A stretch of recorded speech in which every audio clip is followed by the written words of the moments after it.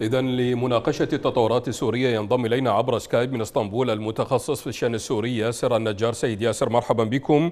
يعني على الرغم من أن هناك طلعة جوية رابعة لمروحيات تركية وأمريكية في أجواء شمال سوريا لكن لا يزال البعض يرى أن اتفاقا حقيقيا بين الولايات المتحدة وتركيا لم يتم بعد. كيف ترون مستقبل الشمال السوري سيد ياسر؟ مساء الخير لكم أهلا بك سيد الكريم.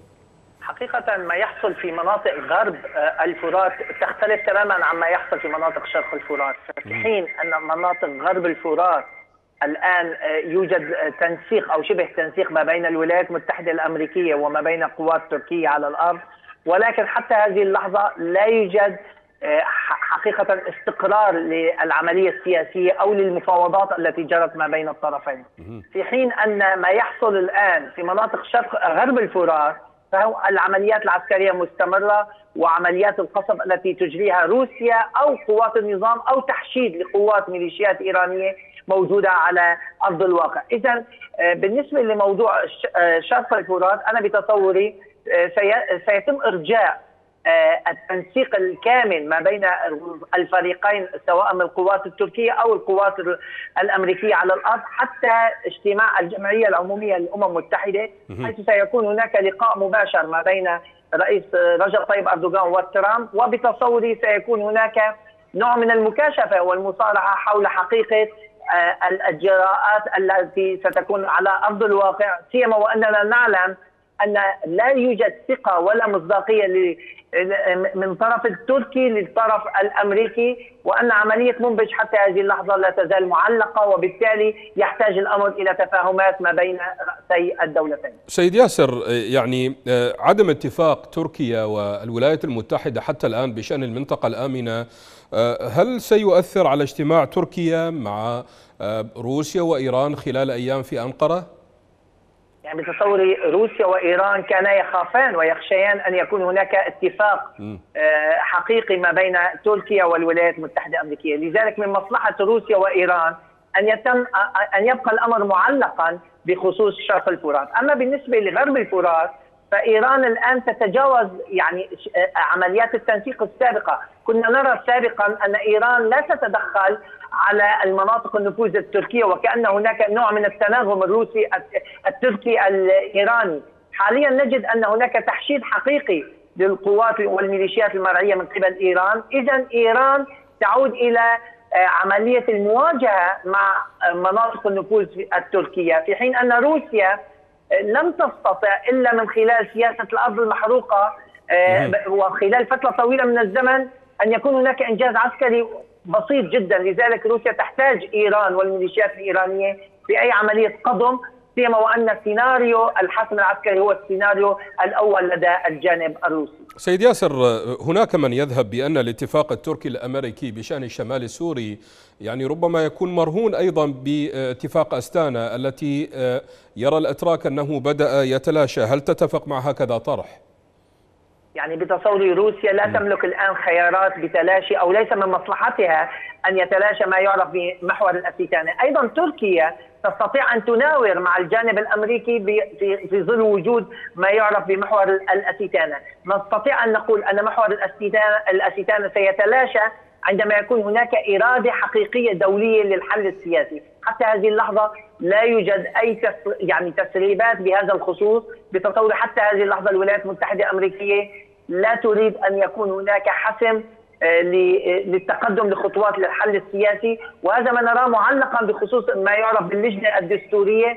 اذا الولايات المتحدة الأمريكية من مصلحتها أن يبقى الحل السياسي مؤرجا أو معلقا حتى تستقر الأمور بخصوص شرق الفرات بينها وبين تركيا. هل هل هناك مكاسب ستحصلها روسيا من هذا الموقف؟ هل يعني روسيا مستعدة لأن تخسر تركيا من أجل هذه المكاسب؟ بتصوري الاستراتيجية المتبعة من روسيا هي سياسة يعني الحافظ أو سياسة ال ال ال يعني الوصول إلى أقصى ما يمكن الوصول له مع تركيا ولكن في نهاية المطاف لن تخسر روسيا تركيا سيما وأن هناك علاقات متبادلة ما بين روسيا وتركيا ومصالح مشتركة ليست فقط في سوريا، أيضا روسيا تعلم أن وجود تركيا دولة مجاورة وبشريط حدودي طويل مع سوريا أنها لا تستطيع أن تحجب عنها يعني نتائج الحل النهائي، اذا تركيا أمر ضروري للجلوس في حل سياسي ستكون روسيا راعية له بالإضافة إلى أمريكا ولكن لا يستطيعان الاستغناء عن تركيا صاحبة أكبر حدود برية مع سوريا. إذا ما تحدثنا عن النظام الدولي أو الأمم المتحدة أو حتى مجلس الأمن يعني سيد ياسر انتهاكات النظام وحلفائه لا تنتهي لا سيما ما كان منها بالأسلحة الكيماوية لماذا لا يتحرك المجتمع الدولي لعقاب نظام الأسد وحلفائه مشكلة الشعب السوري على أن من يتورط بدماء السوريين وبانتهاكات التي تجرى من جرائم حرب على الأراضي السورية هو هي الدول دائمة العضوية. أنا أتكلم عن روسيا على وجه التحديد وأيضا الولايات المتحدة الأمريكية. إذا لا فاعلية للأمم المتحدة في ظل فيتو متوقع من قبل روسيا كما تعودنا وفي ظل تضارب المصالح يعني بخصوص الولايات المتحدة الأمريكية. لذلك أنا بتصوري المجتمع الدولي سيبقى عاجزا وسيترك الأمر مؤجلا أو بيد الولايات المتحدة الأمريكية وروسيا من أجل أن يتوافقا على حل سياسي ويتم مباركته فيما بعد من قبل الأمم المتحدة، أما الأمم المتحدة كما تعودنا فهي صاحبة الصوت الأضعف في الحل السياسي في سوريا. طيب سيد ياسر لجنة التحقيق الأممية في سوريا قالت إن ما قام به التحالف وروسيا والنظام والميليشيات يعتبر جرائم حرب هذه هذا المصطلح ألا يستوجب الإدانة من صنع حالة دولية من أجل إنشاء منطقة آمنة في في سوريا؟ يعني بتصور موقف المعارضة السوري هو الموقف الأضعف لابد للمعارضه السورية أن تستغل مثل هذه التصريحات أو مثل هذه القرارات لتتوجه إلى الجمعية العمومية من أجل أن يكون هناك خطوات عملية بتشكيل محكمة حرب باتجاه النظام السوري محكمة جرائم حرب أو حتى باتخاذ قرارات من الجمعية العمومية لحماية الشعب السوري. ولكن كما نرى أن الممثلي المعارضة السورية لا يتفاعلون بشكل مصلحي لمصلحة الثورة وكأنهم مرتهنون ويعلقون على يعني يتخوفون من أن يصطدموا مع القرارات الأمريكية كونها متهم بهذا الأمر أو أنهم يمنون نفسهم على أن يكون هناك تقارب مع روسيا من أجل إيجاد حل سياسي، أنا بتصوري المعارضة السورية هي صاحبة المسؤولية بعدم وجود قرارات أممية تساعد وتنصر الشعب. طيب, طيب سيد ياسر لماذا المعارضة ضعيفة؟ ما الذي أضعفها تحديدا؟ يعني بتصوري الآن يوجد مشكلة بتبني من هي الجهات المعارضة. نعلم أن هناك ما يعرف بالهيئة العليا للمفاوضات التي تم تشكيلها من خلال مؤتمر الرياض هي المعنية بما يعرف بالمفاوضات السياسية عبر مسار جنيف.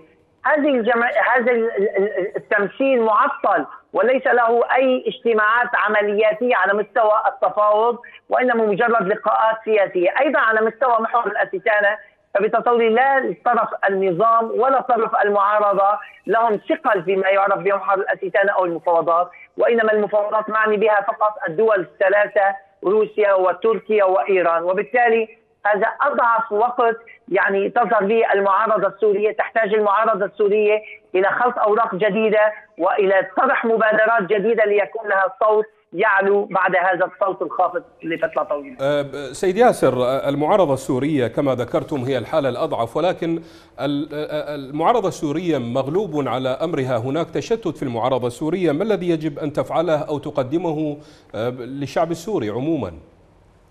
يعني المعارضة السورية الآن يعني منوط فيها فقط موضوع الحل السياسي ونعلم أن الحل السياسي نتيجة يعني السياسة تبعتها المعارضة السورية الخاطئة وهي أننا سنذهب مع الأمم المتحدة إلى آخر ما يمكن من أجل فضح أن النظام هو من يعطل المفاوضات. لذلك قدمت المعارضة السورية الكثير من التنازلات حول مبادرات قامت بها الأمم المتحدة آخرها مبادرة السلال الأربعة. على مستوى مسار جنيف أنا بتصوري المعارضة السورية تحتاج إلى مصارحة ومكاشفة مع الشارع الثوري في المناطق المحررة وفي دول اللجوء تستطيع هذه المعارضة أن تبني من جديد من خلال نعم. آه يعني عملية مصالحة بينها وما نعم بين الشارع ياسر. لكي تعتمد عليه عبر سكايب من إسطنبول المتخصص في شأن السوري ياسر النجار شكرا جزيلا لكم